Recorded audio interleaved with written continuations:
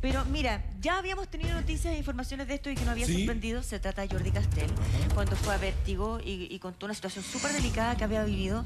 Y hoy también aparece en la portada de la revista Cosas. Sí, ahí está en imágenes la reciente edición de la revista que dice Tonka, en donde Jordi cuenta detalles de su vida amorosa, pero sobre todo de cómo esta relación amorosa lo salvó de una situación que arrastra desde que él tenía siete años y que tiene que ver con abusos, con violencia que sufrió de parte de su padrastro. Voy a pasar a leer para que comentemos lo que dice Jordi Castell. Ha sido un año importante para Jordi, oficialmente alejado de la televisión, no porque no se hayan presentado oportunidades laborales, sino por opción propia. Según explica, hoy la calidad de vida no la tranza por nada. Hay algo en su mirada que refleja paz y madurez, y es que a sus 50 años asegura venir de vuelta. Las ansiedades las dejó de lado y hoy disfruta con los pequeños detalles, esos mismos que valora de Juan Pablo, el ingeniero con el que está en pareja desde hace cuatro meses.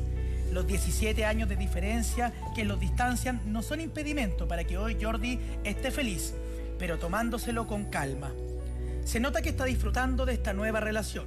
Su última aparición en televisión fue como invitado a Vértigo de Canal 13, donde estuvo a punto de ganar y donde confesó los maltratos a los que fue sometido cuando niño. Dos cosas. Primero la, conversación que vamos a ver de Vértigo. Muy impactante porque Jordi por primera vez revela cómo fue su niñez. Y le explica también su relación eh, con su abuelo, que se convierte finalmente como su padre. Sí. es, tristísimo lo que dijo. Es muy fuerte, es muy fuerte. Es muy fuerte. Porque además, y él viene de vuelta en qué sentido? Que después de muchas terapias, de muchas conversaciones, seguramente también de haberse equivocado y también de haber entendido eh, que debía perdonar y no, eh, y no quedarse con esa rabia y con esa angustia. y eso es lo que lo tiene liberado hoy día. Eh, tú lo escuchas hablar y habla de esa persona que lo maltrató eh, con una sabiduría que impacta. Y lo otro con respecto al amor, de que habla hasta cuatro meses de su relación con Juan Pablo.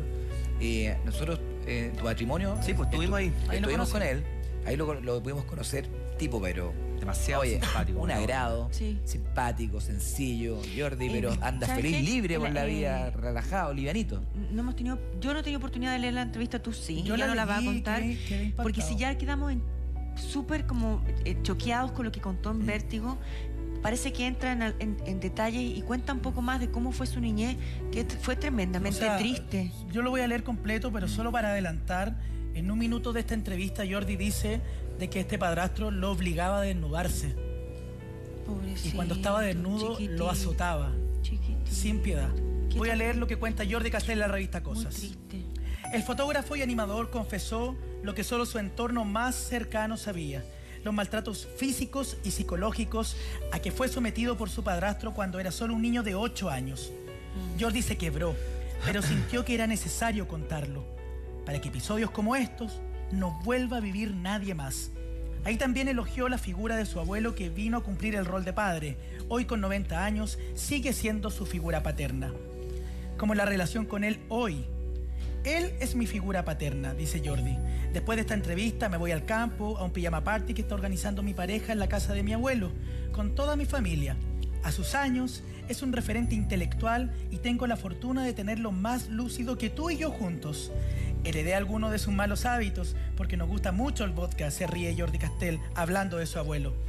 ¿Qué te dijo él después de todo lo que contaste en televisión? No hablamos. Él fue el primero en recogerme Pagó toda la vida, los colegios, me educó y me formó. Me castigaba, me daba mesada. Él fue mi papá. No creo que se vaya a incomodar por lo que yo conté en vértigo, se refiere a los abusos. ¿Lo que dijiste ahí te nació del estómago o habías pensado contarlo? No fue concertado, pero con la Diana, Martín y su equipo tenemos un grado de confianza importante porque he trabajado juntos. Sé que no harían daño con un tema tan delicado y te juro que cada vez que hablo cosas que podrían ser dolorosas, lo hago porque siento que es mi deber como persona pública.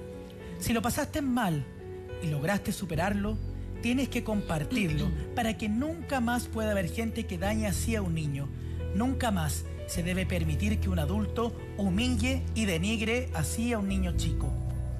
¿Cómo lograste superarlo? Con mucha terapia, responde Jordi, y con el cariño de mis abuelos. Ellos fueron mis padres, terminaron cumpliendo ese rol. El cariño también es fundamental. Mi abuelo jamás me ha levantado la voz. Es un viejo árabe, imponente y machista. Mm. ¿Tú te puedes imaginar lo que debe ser para un hombre de 90 años, árabe y provinciano, tener un nieto como yo? Yo creo que él hizo un trabajo más elevado y elaborado que el mío. ¿Hugo? Oye, perdón que, el, que, que el, ya que toca el tema de la, edad del abuelo, también la edad de Jordi, eh, Jordi tiene 50 años. ¿Tu edad? Igual que yo. Mm. Eh, y yo estaba imaginando, pensando un poco, poniéndome en, la situación que él debe haber vivido hace 40 años, 40 y tantos años, en otro mundo, en otro Chile, en otra sociedad completamente distinta, donde los niños eh, eran efectivamente objetos de abuso cotidiano. Sin derecho. sin ningún derecho, sin derecho a pataleo, sin derecho a levantar la voz.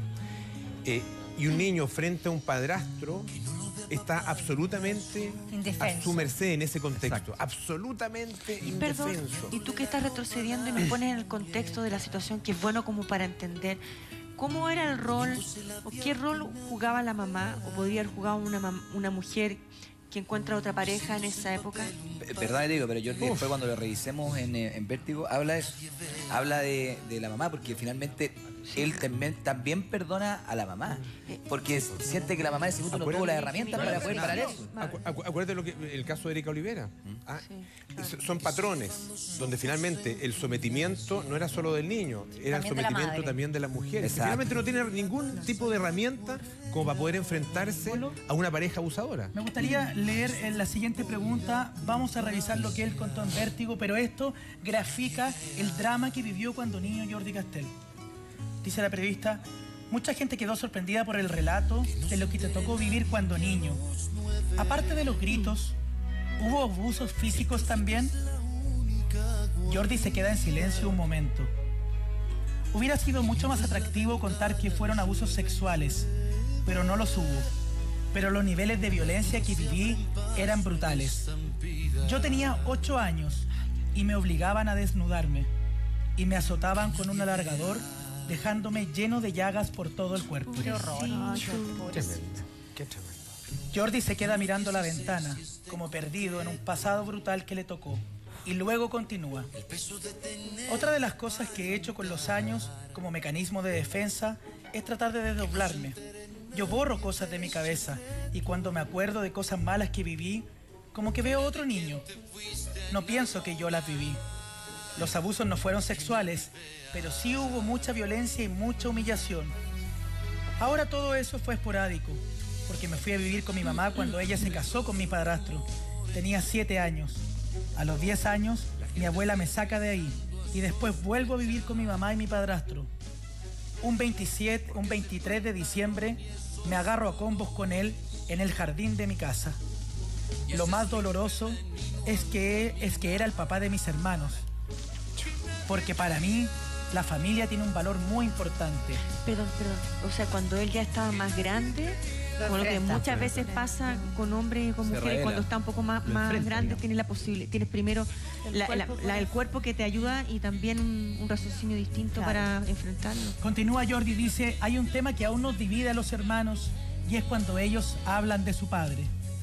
Yo no quiero que esto le vuelva a pasar a nadie, por eso me siento con el deber de compartirlo porque yo ya me salvé gracias al amor que me dieron. Le preguntan cómo fue la relación con tu mamá después de todos estos episodios. ¿Podrías repetir la frase?